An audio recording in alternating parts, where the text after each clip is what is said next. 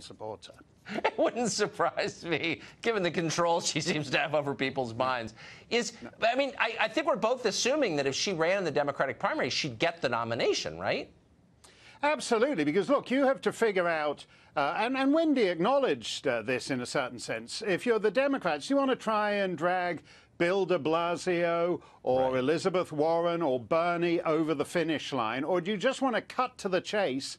And go with Oprah. And they're betting that if it's Trump versus Oprah, he's not going to be able to do to her what he did to Jeb and Hillary. And she, and, and in a sense, that's valid. She, she was by far the least idiotic person at that award ceremony last night.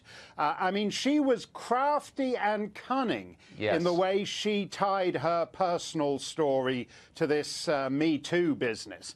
Um, you know, I mean, which, which I think is actually one of the interesting things uh, about it.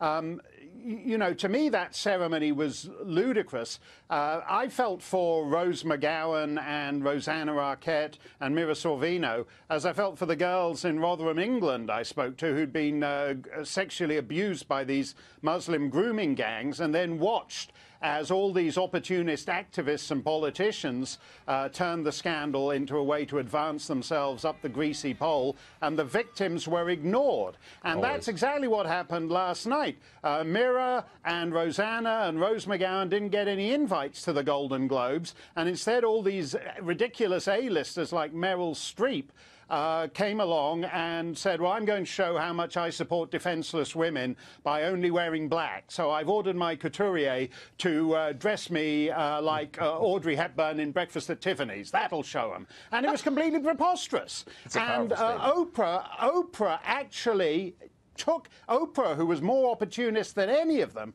actually uh, seized that issue uh, and, and appropriated it to herself, which I'd be annoyed about if I were Mira Sorvino, but she did it at a skill level that's way beyond Nicole Kidman or, or uh, Meryl Streep or any of those other ladies. No, no, she's talented. There's no question about mm. it. And, and she certainly is a brilliant communicator. Someone said to me, though,